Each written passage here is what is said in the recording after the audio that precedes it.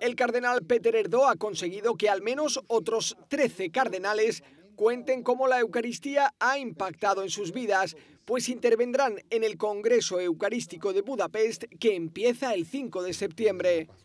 Uh, Abordarán la Eucaristía desde diferentes perspectivas y de cómo la Eucaristía es la fuente de nuestra esperanza y de nuestra alegría. Y por supuesto hablarán de la tradición eucarística en sus países, porque es diferente, por ejemplo, en África o en Europa.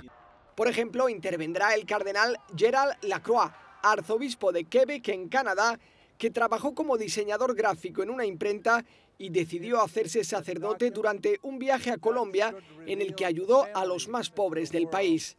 También participará Shalbo, cardenal de Rangún, en Myanmar.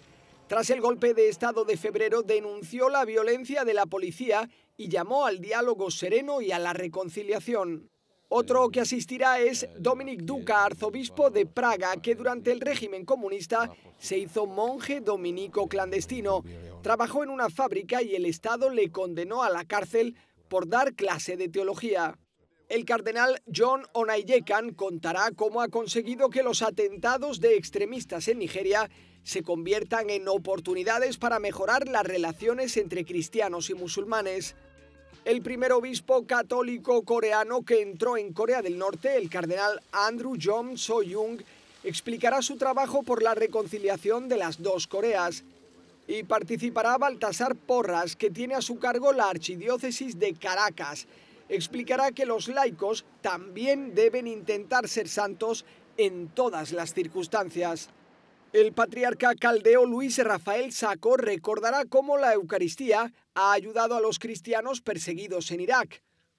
Y Osval Gracias, arzobispo de Mumbai, llevará la perspectiva de los católicos de India. En la lista de cardenales invitados aparecen también Joao Tempesta, arzobispo de Río de Janeiro, que ha sobrevivido a la violencia en las calles Angelo Bañasco y Jean-Claude Leric, que hablarán sobre la fe en Europa, el cardenal croata de Zagreb, Josip Bozanic, el cardenal Michael Fitzgerald, uno de los católicos que mejor conoce el Islam, y Robert Sara, ex prefecto de la Congregación para el Culto Divino. Políticamente.